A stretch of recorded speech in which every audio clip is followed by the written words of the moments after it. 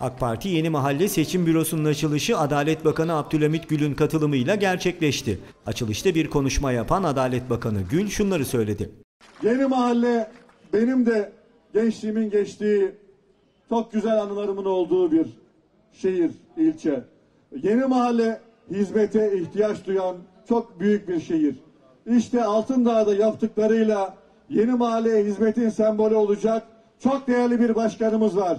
Veysel Tiryaki başkanımıza 31 Mart'ta inşallah en güçlü destekle seçmeye hazır mıyız?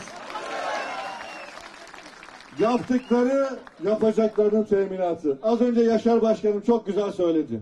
Şimdi yağmur yağıyor, bereket yağıyor. İnşallah 31 Mart'ta sandıklara da Cumhur İttifakı bereketi yağacak. O yüzden sözlerimi çok fazla uzatmadan hemen tamamlayacağım. Yaşar Yıldırım Başkanım 99'da burada Milliyetçi Hareket Partisi'nin adayıydı. Sizin evladınız.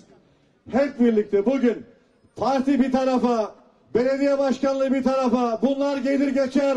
Ay yıldızlı bayrağım kıyamete kadar dalgalansın.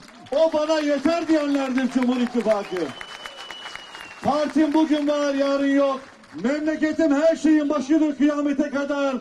Bağımsızca, özgürce kıyamete kadar bağımsız bir Türk milletinin memleketidir diyenlerin buluştuğu yerdir Cumhur İttifakı. İşte bu ittifakın en güçlü bir şekilde sandıkta çıkması lazım. Bu bir memleket meselesidir diyorum. Hepinizin güçlü desteğini, güçlü oylarınızı bekliyoruz.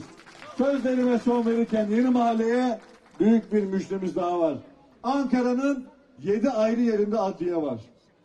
Ve yüz binlerce insan yedi ayrı yerde vatandaşlarımız zorluk çekiyor.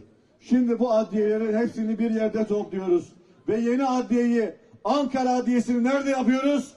Yeni mahallede yapıyoruz. Hayırlı uğurlu olsun. Veysel Tiryaki size emanet. Mehmet Özdaseki size emanet.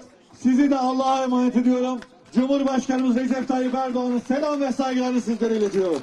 Sağ olun, var olun, Allah'a emanet olun.